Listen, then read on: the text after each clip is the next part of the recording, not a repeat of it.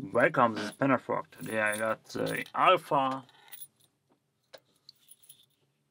60 millimeters here. The nice heavy brass lock. And we will try to pick it. I haven't picked it yet, so let's see what we can do. Very straightforward keyway. Nothing shouldn't be too hard. Let's see what's in here. And we got a, a one, two, three, four, five pinner. I guess I'm using this tension wrench here. Everything's visible. Yeah, that's good. So let's see what we can do. Nothing on one, two, forfeit set.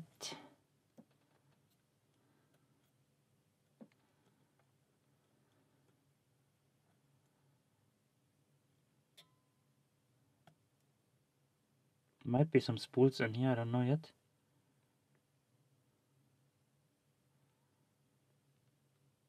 You got counter rotation, feels like spools. We open.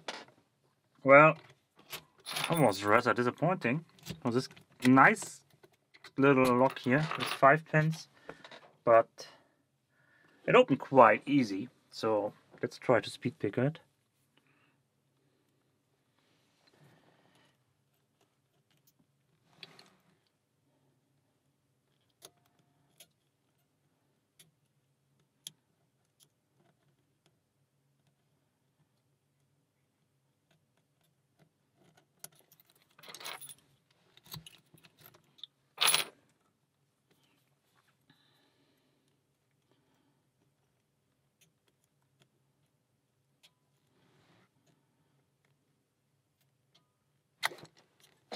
Was rather fast, I would say. Did I already break it? No. Use the key. Let's see if we can replicate this one.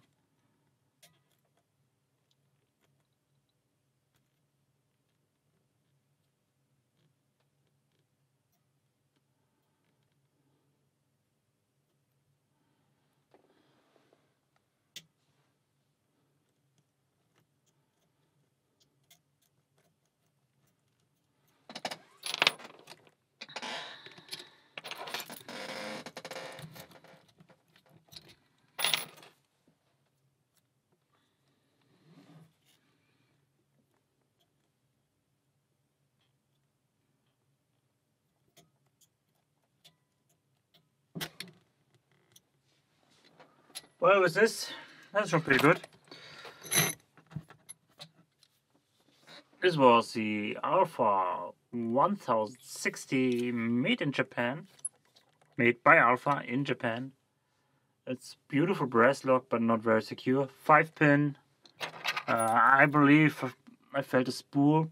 I'm not 100% sure, but yeah. It's not that secure.